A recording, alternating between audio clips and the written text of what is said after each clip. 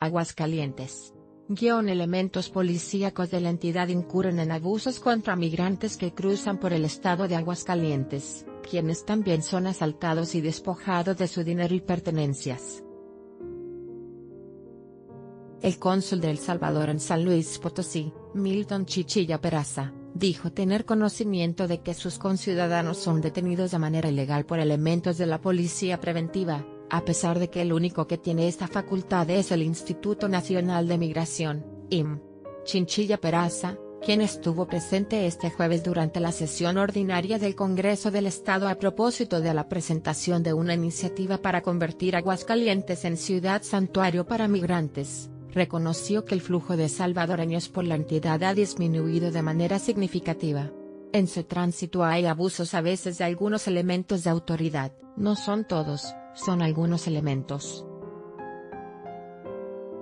No es recurrente, sino que son situaciones aisladas, pero por lo general en Aguascalientes son pocas las denuncias de este tipo, refirió. Explicó que los salvadoreños que van en tránsito hacia la Unión Americana también son víctimas del robo de sus pertenencias y de su dinero, no sabría decirles si son policías, las quejas nos han llegado pero no hacen señalamientos directos, refirió. El cónsul centroamericano explicó que en todos los casos de que se tiene conocimiento son canalizados a la Fiscalía General del Estado o a la Comisión Estatal de Derechos Humanos, SED, para que se proceda en consecuencia. A la fecha se tiene un registro de 108 ciudadanos salvadoreños que residen de manera permanente en la entidad, sin embargo todos cuentan con una actividad o un empleo fijos